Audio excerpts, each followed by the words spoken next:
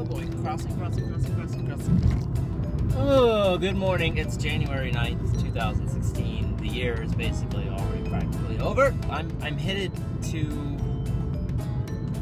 let me going the right way. I'm headed to improv class. This is the first day of level three. For some reason, I'm so nervous. Partly because when I ended level two was almost four years ago. Part of my whole big like refocusing on myself, rebooting, you know, trying to spark some creativity, I decided to not only do this YouTube everyday thing, but also throw myself back into improv and see what happens. So I just remember several years ago with my class, you know, it was pretty much all of us that went from level one to level two, and then several of them carried on. And so I can just imagine how tight, you know, this group is that's in level three, feeling like an outsider. Like, okay, how well am I going to be able to step back into all these little cultish things of improv that I don't necessarily remember? Ah, I'm feeling a little jittery. Um, yesterday's video. Several of you have said that it doesn't count. Uh, yes, it does count. It freaking counts. It took me five hours to download all those videos and compile them. I was thinking it was going to be a much quicker process, but none of my videos were actually on my computer. They were all in the cloud. All I said was that I was going to post a video a day. I didn't say I was going to record a video a day. I don't know, maybe I did. But my thought is that I'm just posting a video a day. Besides, come on, you're getting to see things that you never got to see. I'm filling in the gaps. That's the whole point of this. I don't know, how do you think improv's gonna go? I'm excited to meet new people and be challenged, just grow. I mean, whenever you try something new or put yourself into new situations, grow.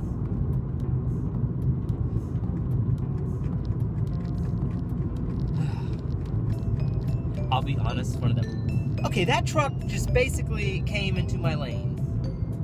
Um, I'll be honest, one of the things that I'm most nervous about this class is that there's a showcase at the end of it. And I love being on stage. I love being in front of people. I just don't know if I'm, I'm going to love doing that and doing improv because my perfectionist side of me goes, okay, are you going to be perfect at it? Are you going to be great? Or are you going to embarrass yourself? But you know what? This whole month has been about embarrassing myself because every single video I have been so embarrassed by in the end. I don't know why. If there's something about it. If I had not publicly said out loud, I'm going to do this every day, there's no way I would still be posting. I have chickened out several times already, but in my head I go, nope, I said I was going to do this publicly, so I have to keep at it. But there's this other part of me called the critic. I kind of brought back the other day when I did that video of two me's. Just kind of picks apart the things that I do and the things that I am.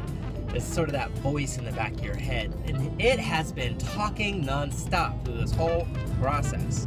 Constantly downplaying the quality of my videos and the quality of my editing and the energy of them and what I'm doing. I want to either kill him or I want to befriend him. He has to become an asset instead of you know, an obstacle. it's very therapeutic. And so is improv. And that's one of the reasons why I'm doing it.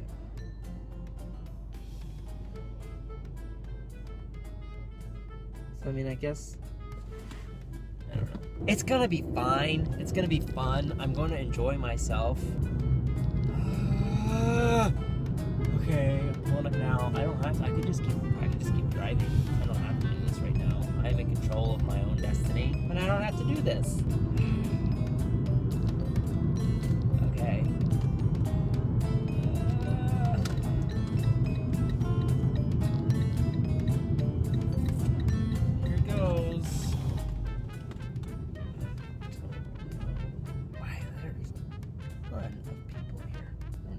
This many cars when I used to go.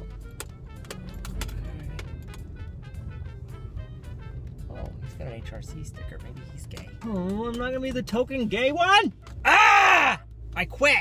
This club's already too crowded. So what I do? Just awkwardly sit here until my class starts in what 20 minutes? I could go out and do like the social thing and mingle with whoever's outside. You know, as outgoing as I sometimes am, I'm really socially awkward sometimes, and well, a lot of the time, and very nervous in new situations, I guess. You know? One of my classmates from level one and two is now the GM of this place, so I'm basically royalty, right? Coming from a legacy class, we've all gone on to do great things, except for me, who haven't done jack shit. Oh, look at those lips. I guess the goal is to is to allow myself to make a fool of myself and be okay with that. Alright, I'm gonna stop recording because I have to get on Facebook and post a check-in to say that I'm here now. Because that's what you do, right? So how do I make it sort of vague and cool sounding? I don't know, I'll think of something. Okay. Everyone's moving from their cars. So I guess it's time for me to go do this.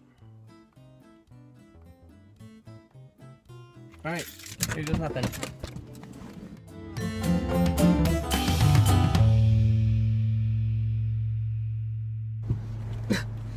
oh my god!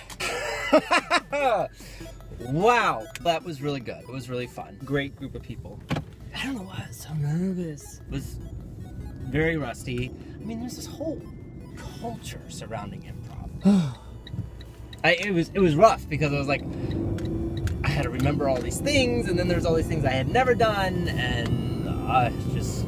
But I got it. It was fun. Um, it was definitely weird because there's, you know, everyone was very tight. Um, pretty much everyone had worked together already, and it's kind of weird being like the new person and not knowing like all the dynamics and stuff, and feeling like you're sort of disrupting things.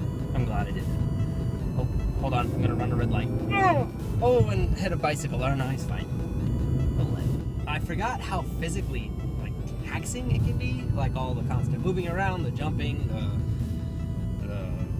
holding frozen positions, just the energy.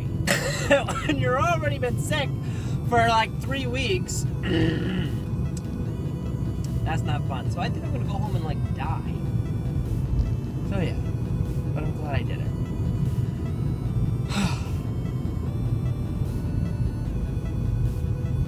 so I guess we're just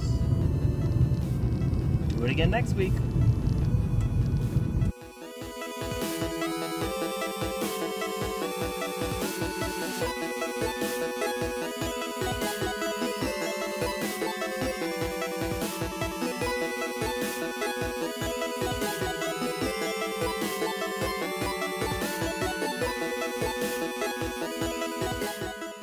Think it's gonna be good. I think it's really gonna spark some ideas.